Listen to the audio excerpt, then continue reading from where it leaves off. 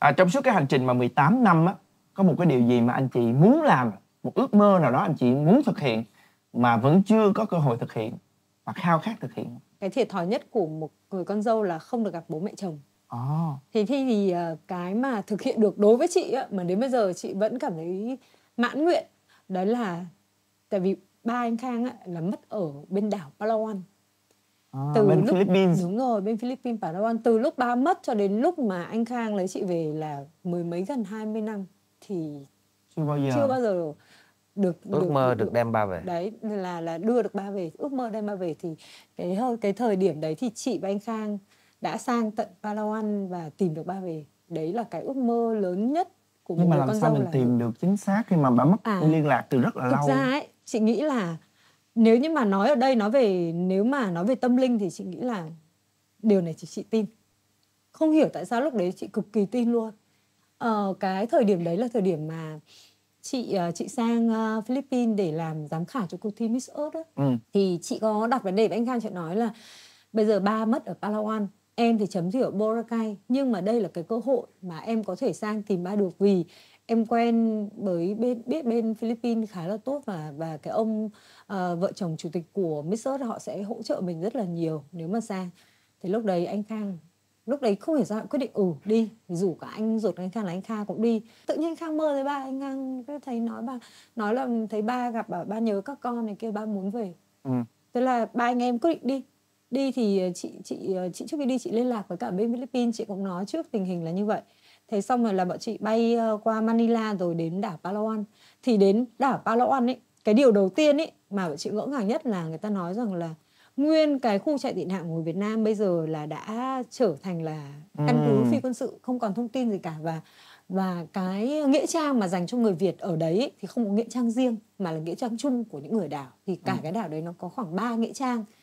Em tìm ba nghĩa trang mình trong đầu mình nghĩ là tìm to. kiểu gì Ừ. không thể nào tìm được luôn ấy thì tự nhiên lại đi qua một cái nghĩa trang thấy một cái cổng trắng tự nhiên nhá trong đầu chị giấc mơ hả? không hiểu sao chị À. cảm thấy là chị gặp cái cổng này ở đâu đấy rồi ừ.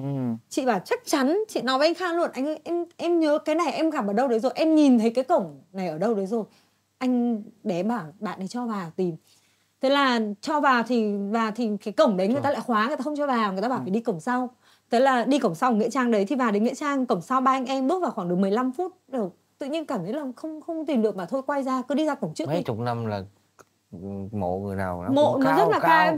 thì lúc đấy các cái mộ mà mười mấy năm trước nó bị tụt xuống rồi. Ừ. xong người ta cứ trồng mộ này kia nó cứ lên cao này này. Ba đứa bọn chị là té ra ba hướng đi tìm. Chỉ trong vòng 15 phút tự nhiên thấy anh Kha anh của anh Kha đứng một góc hộ lên. Ê Đây, lại đây. Ừ.